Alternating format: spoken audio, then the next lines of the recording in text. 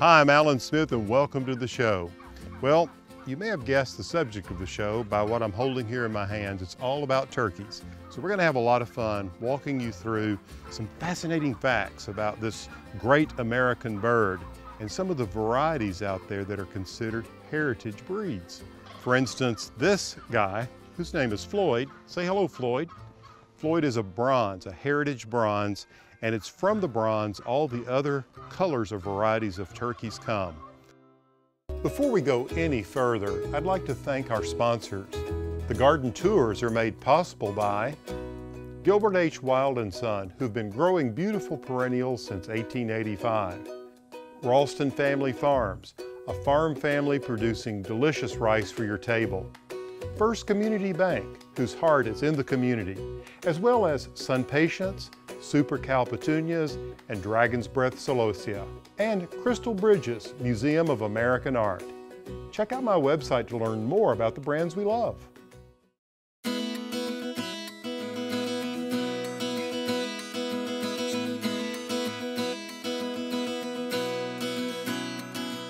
Well, Frank, I think they're ready to come out. Let's see them. All right, come on out, kids. They're really growing well. They look great. They've, they've done well. It was in January when I sent you the eggs then. Yep, it If they- was. yeah. Yep. So that's pretty good to be able to hatch these old standard bred turkeys that time of year. Well, I think they're maturing nicely. They've got great color. Why do you think it's so important that we conserve these heritage breeds? Well, this is the basic genetics for everything we've got in the world, what the turkey industry started with. These breeds, we can take them back to 1840, 1849, and this was the beginning. What defines them as heritage is that they can really reproduce all on their own. They're slow growing. Uh, there's no artificial insemination uh, required to produce the next generation. One of the number one things that make a heritage turkey is not the color of the feathers. That has nothing to do with it. It's, it's their genetics. It's how they're made, their conformation. Mhm, Their body type. that long leg, that long breastbone that allows them to live a long life, that they have not been altered to be short-legged or heavy-breasted, and so they're normal turkeys. It's the bronze that's the oldest and I guess the largest of the heritage turkeys, isn't it?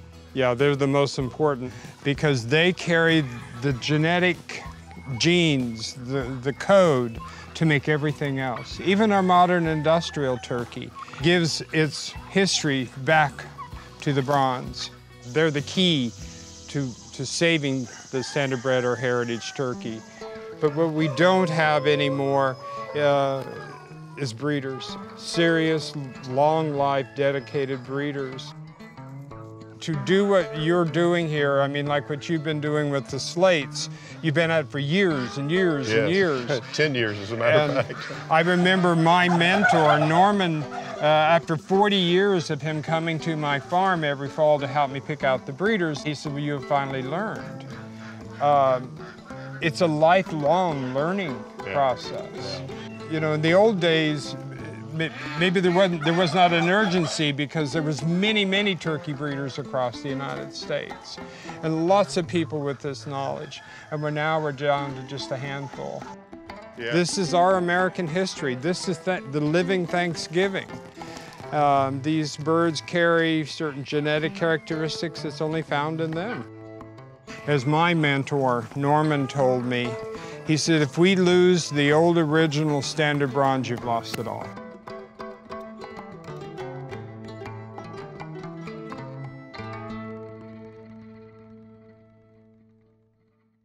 If you follow me on Facebook, you know that we have a little fun around here with special guests.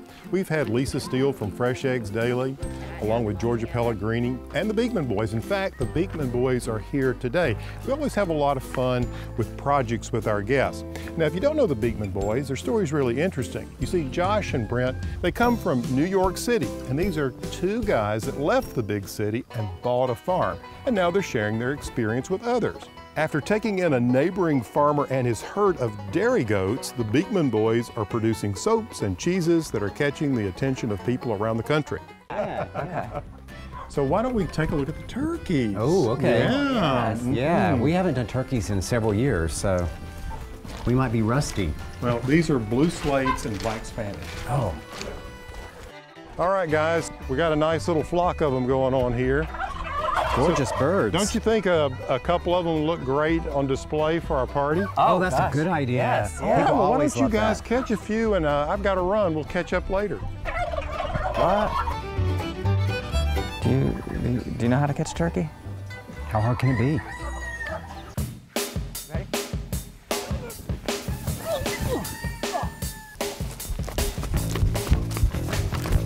Josh, you be ready for them over there.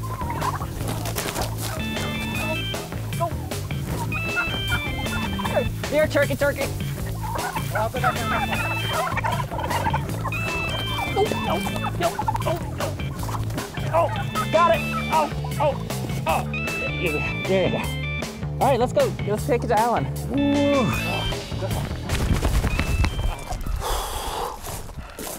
Hey, guys. Got oh, him.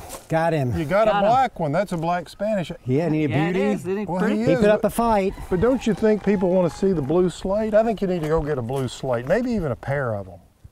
Two. Yeah. Well, what are we going to do with this one? I, I think you better put him back. Oh, I got a better idea.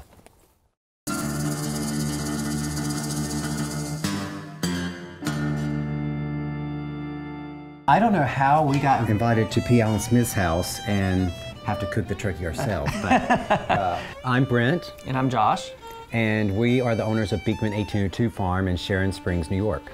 We raise 110 different varieties of heirloom vegetables in the garden.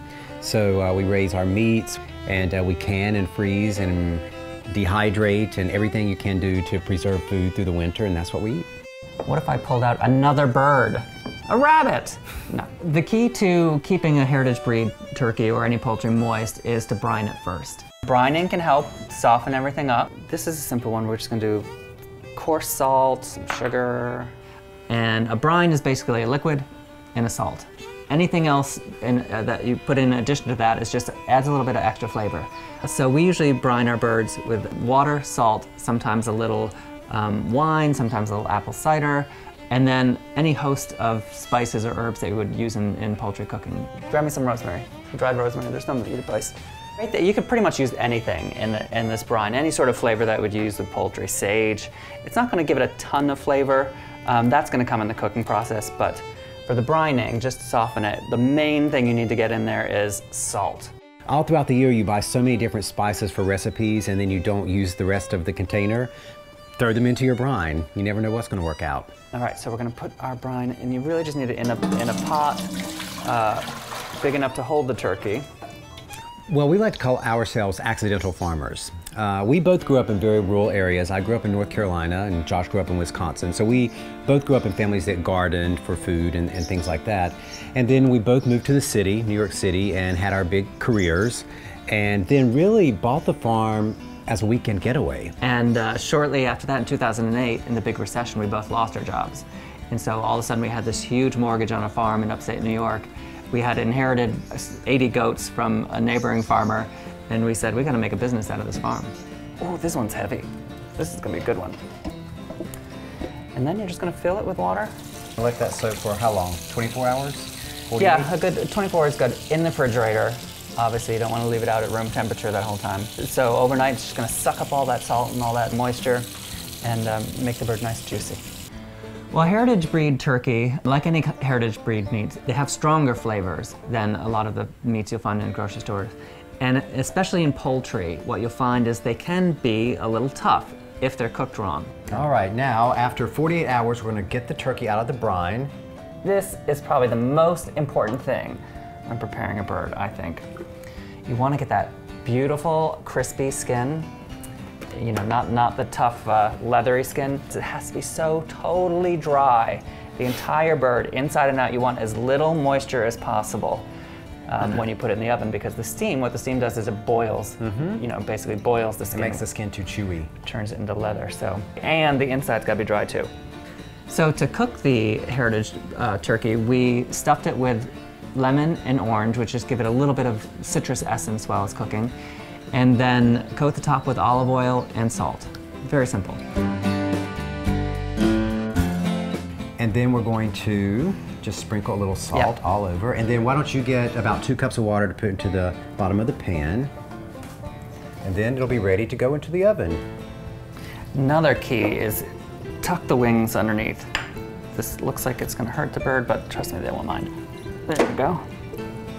You gotta have a little bit of muscle when you do this.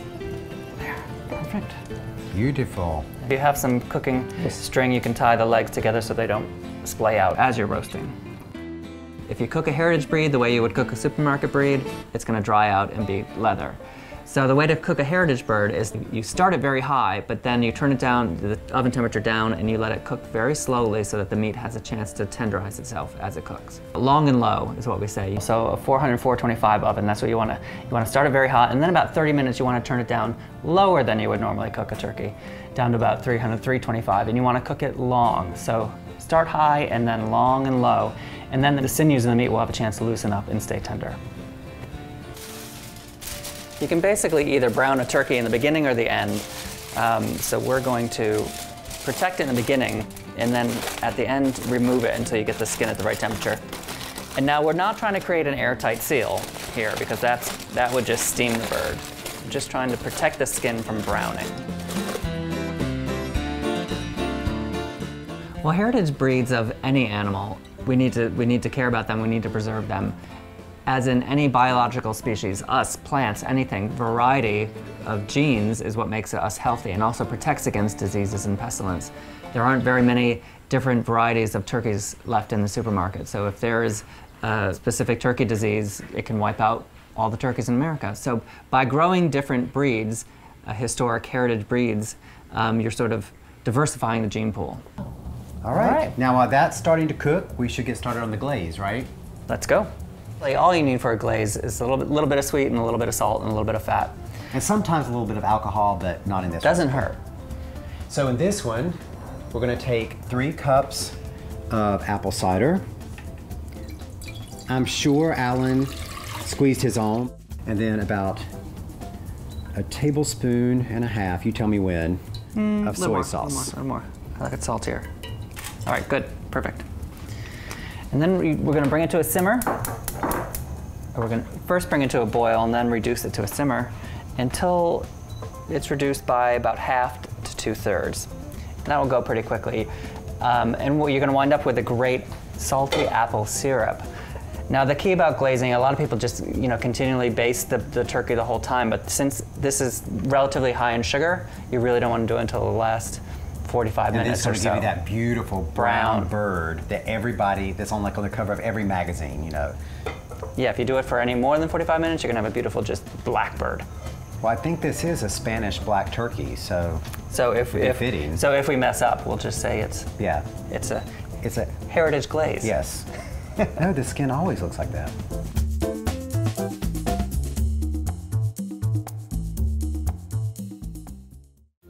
We're going to have a little fun with Josh and Brent. While they're away, we're going to switch out the turkey.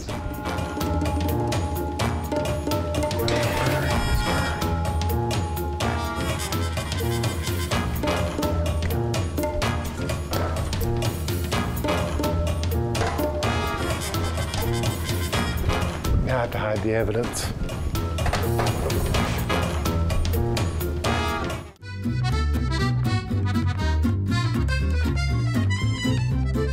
So good. But what about the bird? We need to check Oh. the bird. Oh, he doesn't need a rhubarb float. We should make a float for the bird. Josh, can you give me the mitts there? This thing is going to be hot. All right, yeah, here we go. Wow, smelling really good. Okay, there you go. All Alrighty. Oh my gosh, what happened? You guys, shrunk. it shrunk. Was this on the weight reduction plan? Oh my God.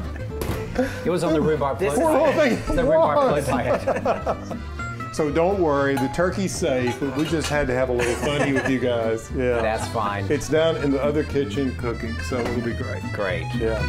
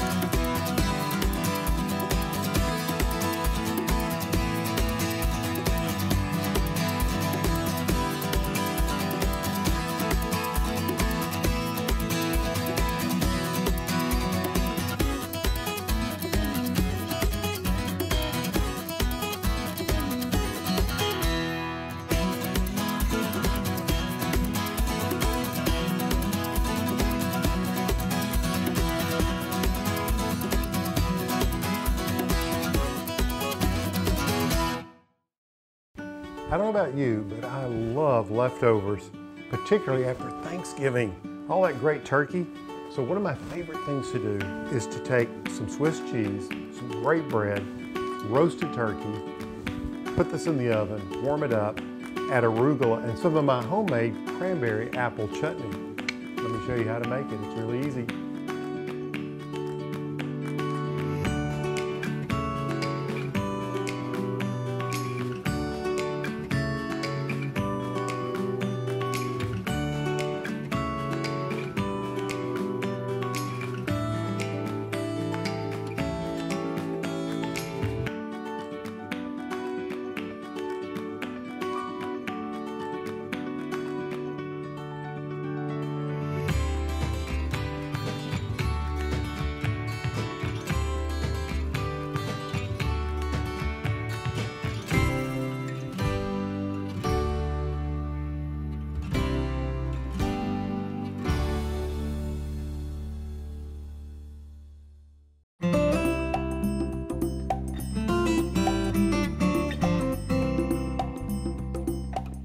Now this is a Royal Palm Tom, one of the great heritage breeds, but it's one of the Johnny come latelys compared to the bronze, which we saw at the beginning of the show. This particular variety was developed in the 20s in, the, in Florida and then were recognized in the 1970s by the American Poultry Association.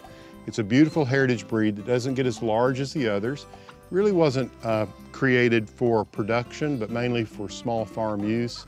Uh, they're great foragers and great for collecting insects and make a beautiful flock. Of course, to conserve these great breeds, what we have to do is get them back into the food system where they can be raised on small farms and purchased by you. This is one way we can conserve diversity as well as honor the agricultural heritage these birds and other animals have given us. I hope you've enjoyed the show as much as I have and hope to see you soon. Okay, Vern, let's head back. Good boy. Go check out those girls.